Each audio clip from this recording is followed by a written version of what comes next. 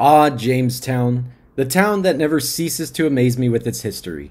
As we saw in the last video, the relationship between Plymouth and the Indians was one of peace and harmony for about 50 years. However, Jamestown got off to a rocky start with the Indians in Virginia.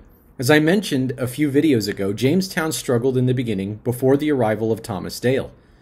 The men there did not want to work and went out panning for gold only to find iron pyrite or fool's gold.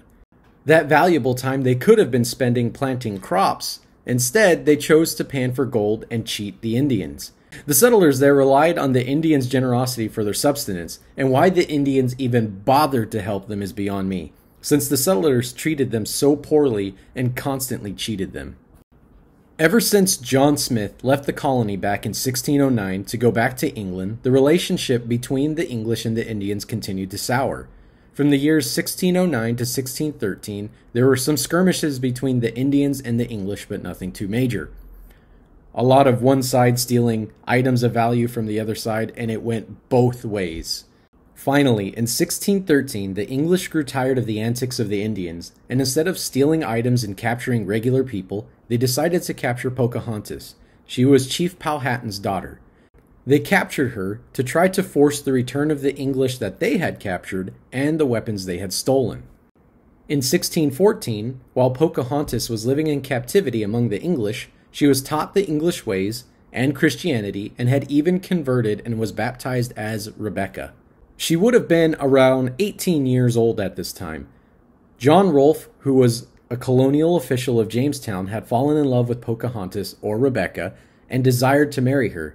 He obtained permission to marry her from both her father, Chief Powhatan, and the Virginia governor, Thomas Dale. Remember, he was the guy that would shove a needle through your tongue if you took the Lord's name in vain. The marriage actually helped the colony with the relationship with the Indians, and for the time they were married, the relations actually improved between the newly established colony and the Indians. The peace through the marriage was known as the Peace of Pocahontas. The Rolfes had a son together who they named Thomas, and they were together till the day of her death just a few years later when they traveled to England together in hopes of attracting more people for the colonies. While she was there, she became ill and died in 1618. In their four short years of marriage, it was Pocahontas that showed John Rolfe the plant that would forever change the colony of Virginia tobacco. Oh, and spoiler alert after Pocahontas died, the relationship between Jamestown and the Indians went to the pooper. Tobacco, the little plant that was introduced to the colonists by Pocahontas. She showed them the pipe and the cigar, and back then it was even hailed as a cure for all kinds of ailments. John Rolfe was experimenting with the local crop and thought it was, quote, poor and weak and of biting taste. In short, he didn't like it very much. However, he was able to acquire some Trinidad tobacco seeds. How he came to acquire these seeds, well, those details are actually lost to history. But he did, and he began to grow the new tobacco. Due to the fertile Virginian soil, his experiment was a success. The new tobacco was hailed as being a match to the tobacco that was exported from Spain, or even better. In the first few years from 1615 to 1616, they were only able to produce about 2,300 pounds of the plant. But by 1618, they were exporting 50,000 pounds of tobacco. Remember, they still owed a very large debt to the Virginia Company, so getting some revenue into them was a priority. In England, this sparked a debate as tobacco began flooding their market with slogans such as Hail, thou inspiring plant, thou balm of life, well might thy worth engage two nations' strife, exhaustless fountain of Britannia's wealth, thou friend of wisdom, thou source of health. Obviously, that was touted in the pro tobacco camp, but then there are other such slogans, such as Tobacco, that outlandish weed. It spends the brain and spoils the seed. It dulls the spirit and dims the sight. It robs woman of her right. And as you could probably guess, that came from the anti tobacco camp. Either way, the tobacco crop being raised in Virginia was a hit, and it was being hailed as a rival to the tobacco that Spain was growing and exporting and in order to keep up with the profit and the demand, the colony had to make a difficult decision. They were faced with men having to continue to grow the crop of tobacco, but the leaders were afraid that more people were going to grow tobacco instead of food, and they would revert to the state of the starving period that Jamestown had faced just less than 10 years prior. Remember, people were willing to pan for gold instead of growing crops to survive in order to get rich quick. And the leaders rightfully feared this crop because once again it distracted the settlers from planting corn to survive. The leaders constantly discouraged its cultivation, and once again the settlers were hit with the inability to feed themselves and had a lack of workers willing to plant corn. So, in order to solve this problem, another problem was introduced into the colony.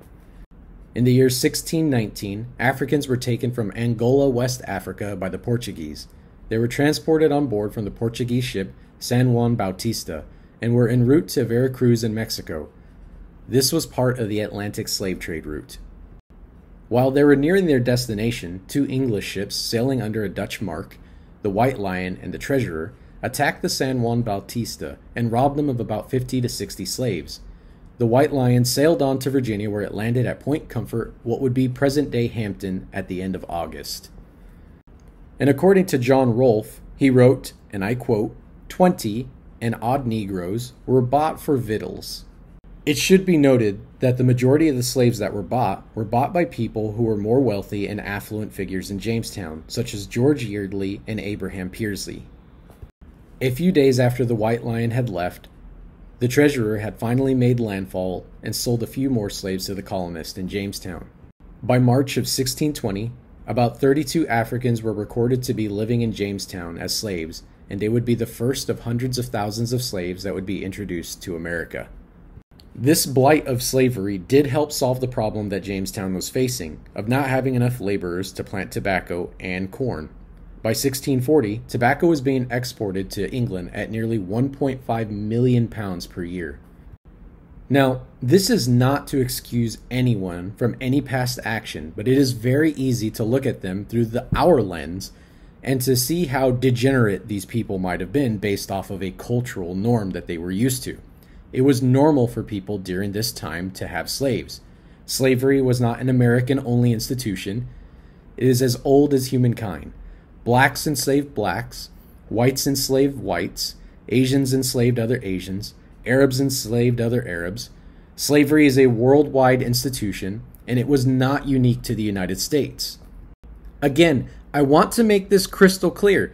I am not condoning slavery in any way. Slavery bad. Very bad. I am merely just pointing out that it was a common solution in this day and age. But to say that it is a white institution or a tool just used by the white man to keep other races oppressed is historically inaccurate and factually incorrect. And in some cases, even manipulatively evil, just simply to push a white hate agenda. And so, with this, will be a perfect segue into my next video. But you guys let me know what you think down in the comments below, and I'll catch you guys in the next one. And by the way, the next one is going to be that slavery is not unique to the United States.